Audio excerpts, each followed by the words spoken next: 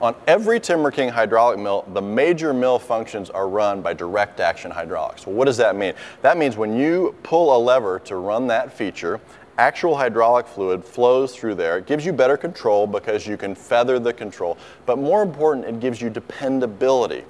A lot of mills, a lot of my competitors depend on electronic, 12 volt electric, either to run their hydraulics are actually to directly run major mill functions.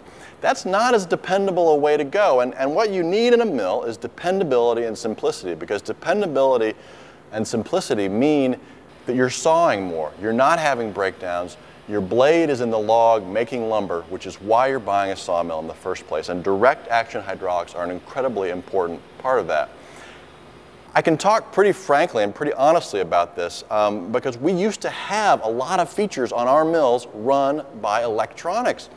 And they were the most troublesome features of the mill. And that's just the honest truth. And when we redesigned the mills, the new generation of TimberKing mills, one of the things we set out to do is eliminate as many electronic controls and as many electronic features as possible in order to give you that dependability which keeps your mill running, which keeps your blade in the wood, which gives you the production you need both day to day and week after week after week, year after year after year. My competitors not so. There are a lot of my competitors either who run their hydraulic features with an electric uh, control, not as dependable, or who actually have um, major mill functions that are directly driven by 12 volt, whether it's the blade feed, blade up and down. Um, it's just not the most dependable, simplest way to do it. And so if it's not dependable, what does that mean? Well, it breaks down. What does that mean? You're not sawing. You know, one of my competitors, and I like my competitors, and I don't want to seem that I'm bad mouthing my competitors, but I want to be frank about the difference. And again, I know the difference here because I used to do it this way.